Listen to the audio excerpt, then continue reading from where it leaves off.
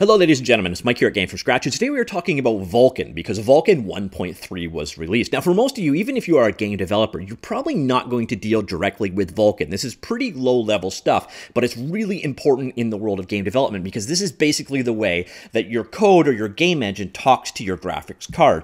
Uh, it's run by an industry consortium called Khronos Group, which is made up of like all the video card manufacturers, game engine makers, and so on and so forth. And it's a standard way of talking to your graphics card. Now, it competes with technologies such as DirectX 12 uh, or uh, Metal when you're dealing with uh, Mac OS products, and it's kind of the spiritual successor to OpenGL.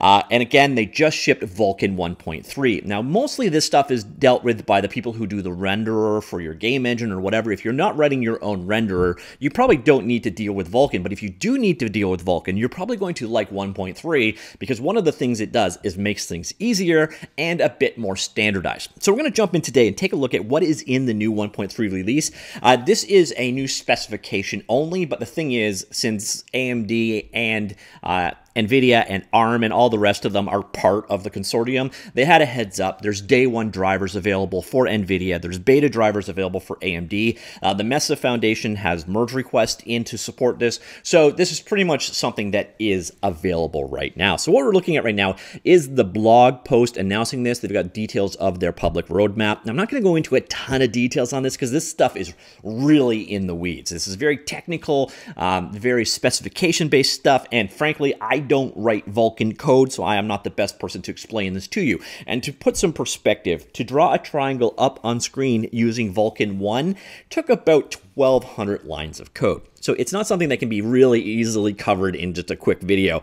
Uh, but what we're looking at today is Vulkan 1.3 specification was released incorporating and mandating proven developer requested extensions to make that functionality consistent across all supported platforms. So basically, in earlier versions of Vulkan using extension mechanisms, they added um, support for new features and functionality. With 1.3, what they're doing is making those extensions part of the standard so that they can be more relied upon for being there.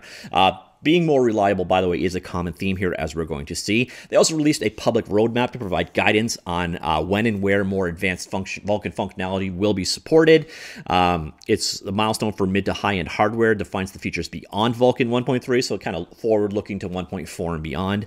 And profiles will be introduced with tooling in February 2022 Vulkan SDK to precisely specify, manage, and use API capabilities. It's basically a way of uh, device manufacturers to say this is the base function functionality we support. And already Google has uh, introduced such a thing for Android, for example. I think it might be the only uh, profile example that's out there right now, but it does give an idea. And again, the common theme here is, you know, device compatibility. So one, Vulkan 1.3 will have a more common baseline of functionality so you can more reliably use the APIs. And profiles will tell you reliably the minimum base set of Vulkan compatibility on X hardware, such as, for example, Android.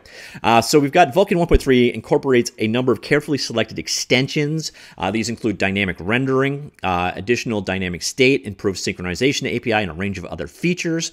Um, crucially, unlike other previous releases, no feature added to Vulkan 1.3 are optional. So that again is going to cut down on some of the complexity and fragmentation in the Vulkan ecosystem and is a good call. So that means Vulkan 1.3 compatible uh, devices in the future will have full support in Vulkan 1.3. Should make using Vulkan 1.3's functionality nicer. Uh, as with previous versions, Vulkan 1.3 is designed to be accelerated on OpenGL ES 3.1 class hardware, enabling the core API to support a wide range of devices and markets. So if your current device is capable of running OpenGL ES 3.1, it is theoretically capable of running, running Vulkan 1.3. Of course, it does need drivers, uh, but with something like the Mesa project supporting this, it, it should be available on almost all devices with OpenGL ES 3.1 class hardware.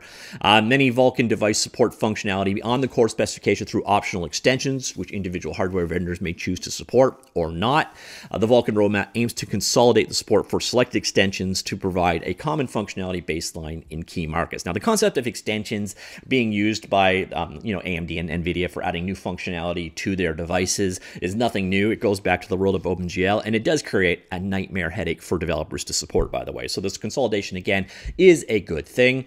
Uh, the roadmap uh, announced today is the first defined milestone in the roadmap. All Vulkan Working Group hardware vendors actively developing mid to high end devices for smartphone, tablet, laptop, consoles, and desktop platforms are committed to supporting this milestone, starting with several shipping products in 2022. Requires support for Vulkan 1.3 plus a number of extensions the working group considers essential for targeting the market, including descriptor indexing, uh, fragment shader stores, atomics, subgroup support and fragment shader, independent blending, sample shading, anisotropic uh, filtering, uh, YCBCR sampling, and scalar block layout for buffer resource. Like I said, this is very, very technical in uh, nature, um, so we're not going to go into the details about what the heck any of that actually means. Also raises the minimum value for many hardware limits, including the max image and image uh, array dimensions, max subgroup size, and various limits on how many resources can be accessed per shader stage. Uh, we've also again got Vulkan profiles. It's a mechanism for providing precise specifications and management of a set of API capabilities.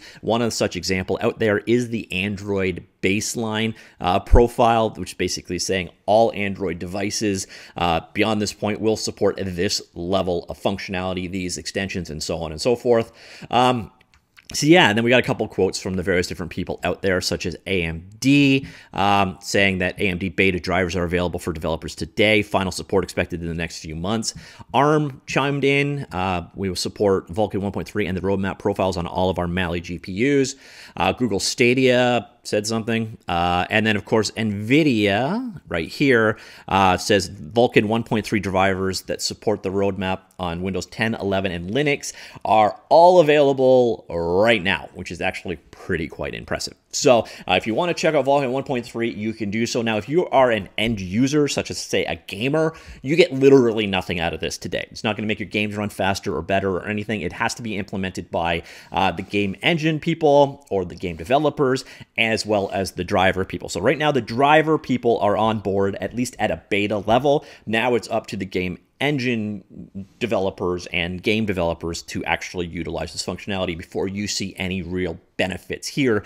And a lot of the stuff that we were talking about in Vulkan 1.3 is more about making working with Vulkan more a pleasant experience, not necessarily um, about making things faster or new shiny capabilities. Now, there is some of that in there, but this is more about, again, providing a more consistent ecosystem for developers to work with. Uh, so we're dealing with uh, again fragmentation going forward, which is a lot of a lot of this is about, and then also uh, we brought in some new features, including the uh, dynamic rendering, which we'll get into a little bit more in a second. So this is all about streamlining render passes. Um, there's again details on the roadmap. We're not going to go into that again. It kind of this overlaps with what the blog was talking about, so I will make sure that uh, I link this as well. Uh, by the way, there is uh, the Vulkan Working Group is hosting a uh, webinar on February the first. If you want to learn more, and you can register right there. So if you're interested and, and you, you want to learn more about Vulkan, I'm going to just set your expectations accordingly. As I said earlier on, earlier versions of Vulkan uh, and the new um, rendering extension should actually make this a little bit easier to deal with. You have to don't have to set up the render passes or sub passes that you never supported anymore. But if you wanted to work with Vulkan, you needed to write 1,000 to say 1,500 lines of code to get a triangle up on screen. Well, this here is the Vulkan 1.3 specification in PDF format. I will link this as well, by the way, if you want to go ahead and check this out. I just, again, want to set your expectations accordingly. So this is the specs table of contents, and um, yeah, let's just keep going here. We're down to, oh, there we go. 3,587 pages in the specification. So that, again, the only people that really have to deal with the specs are um, device driver makers, maybe the people at Unreal Engine or uh, Epic, uh, sorry, uh, Unreal Engine team or the Unity team, etc. Uh, but it does give you an idea of the kind of complexity you are dealing with here. Vulkan is not the simplest thing you've ever gone to work with. Now, the one thing that is kind of interesting in, in the words of simplicity is this new VK uh, dynamic rendering extension that is now going to be part of the standard. And you can see here some of the problems they're talking about. Other APIs have much more flexible APIs for the same functionality. Most of the render passes APIs uh, go unused in Vulkan. Most applications do not or cannot use subpasses, but still pay the cost of setting them up. The API does not fit for most existing software architectures. Fundamentally, other than load and store actions, they do not access um, do not address real issues for um, independent hardware or software vendors.